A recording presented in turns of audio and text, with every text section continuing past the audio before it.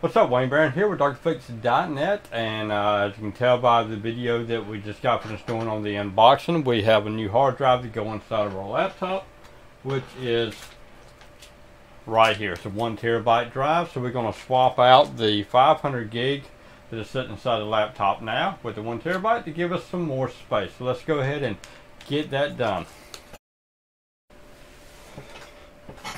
Okay, we're going to go ahead and get everything unplugged get this mic to where it's doing what it's supposed to do. So yep, get everything unplugged from our laptop, unplug our power, set these to the side, flip it over. Okay, the first thing that we always want to do, uh, also this is a Lenovo G770, but we always want to remove the battery so sliding this over to where you see the red and then moving this to the left slides the battery out. This way you do not get any extra jolts or anything, especially if the screwdriver or anything touches any of the electronics inside the laptop. With the battery being out, you don't have to worry about frying your board.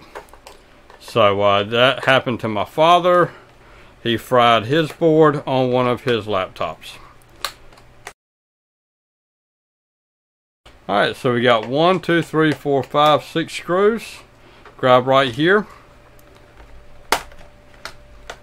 Sort of wiggle it just a little bit. Okay. And then put this over on the side. We got two screws right here. Grab a hold of that screw, set it aside. And then this screw set it aside.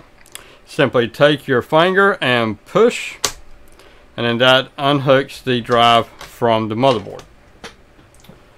Now let's come over here. Alright we've got one two three four screws here. So let's go ahead and unscrew them.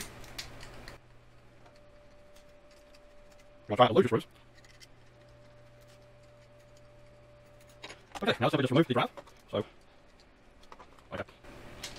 Alright, there it goes. I was trying to take it off wrong. But this right here is the original drive. And uh, let's go ahead and set that aside. And then let's go ahead and take out our new drive. And uh, so, yep. Everything looks good. So let's set this. Make sure that you put it on right. Want to make sure that goes to that side and then slide this over like so. Now let's put the screws back in.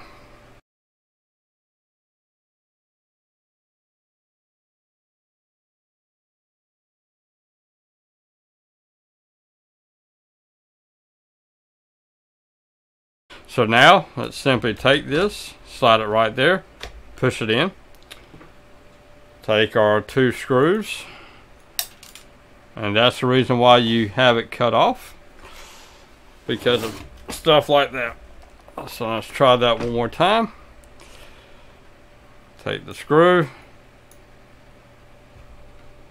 Put it right in there.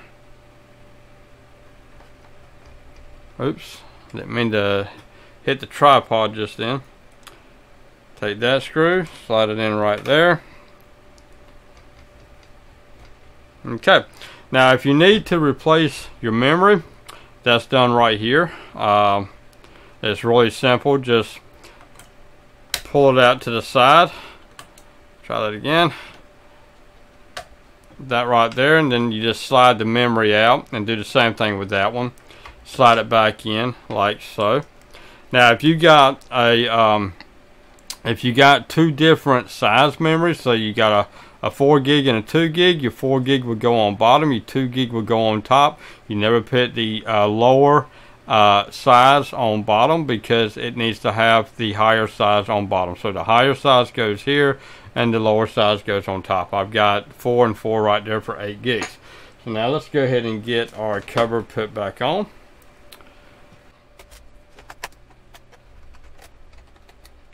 And I just not spit up. I actually on this Okay, so that is good. Now let's grab a hold of our battery pack, slide it back in, move that over to the side.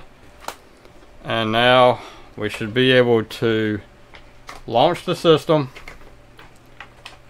And let's go ahead and set the camera up so the camera can actually see it.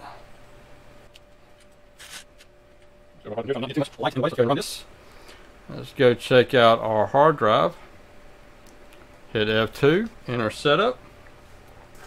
And uh, we got 8 gigs of memory sitting inside of here. So let's go ahead and jump over.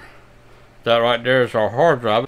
So we are going to go ahead and uh, get this thing set up and we're going to install the new operating system. So thanks for watching. Y'all have a good one and bye bye.